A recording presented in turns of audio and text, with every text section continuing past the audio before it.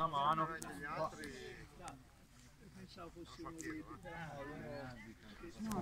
Vai, vai.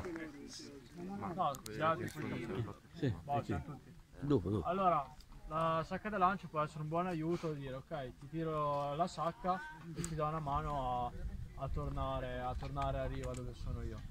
Allora, sacca da lancio innanzitutto la cosa più comoda è se la corda è dentro. Ci sono due modi per lanciarla, sia con la corda dentro al sacchetto che con la corda poi dal, dal sacchetto.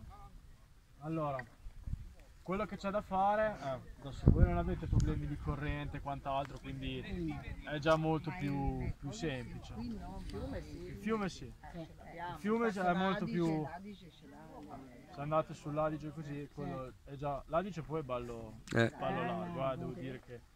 Comunque, in acqua ferma in questo caso, già andare vicino, al massimo lui si allunga un po', riesce a prendere la corda e poi dopo lo tiriamo a riva, adesso vediamo come.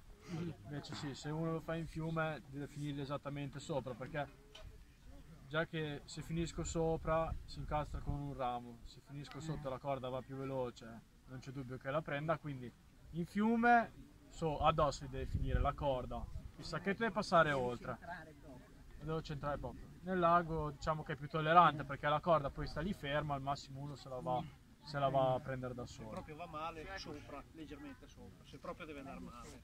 Sì. Dei due sì. Piuttosto che giù. Sì, però c'è il pericolo di incastro, la corda si blocca da qualche parte, è molto probabile. Allora, per lanciare la sacca da lancio, allora, qui è molto tranquillo, quindi vi consiglio solo di lanciarla dal basso in questo modo come se fosse una palla da bowling. Col vostro braccio, col vostro braccio buono, sì, mancino, anche perché una possibilità avete, si può lanciare da so- destra, sinistra, da sopra, da sopra, fisicamente per la spalla è più impegnativo, eh. adesso rischiate di lasciarci la spalla andare.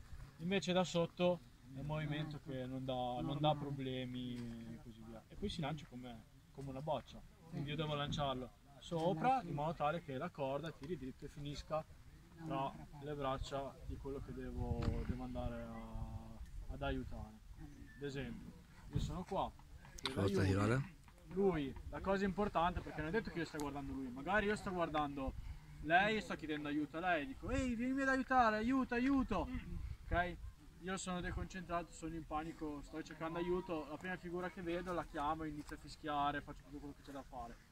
Lui invece, cosa importante, Che gli dico, gli faccio capire che ci sono io, intanto richiamo la sua attenzione, che può essere un urlo, qualsiasi se cosa. sa il mio nome mi chiama per nome, se no- Già- Io non mi ricordo come si chiama, quindi lo chiamerò. Ti do una mano, ti aiuto. Sei pronto? Corda!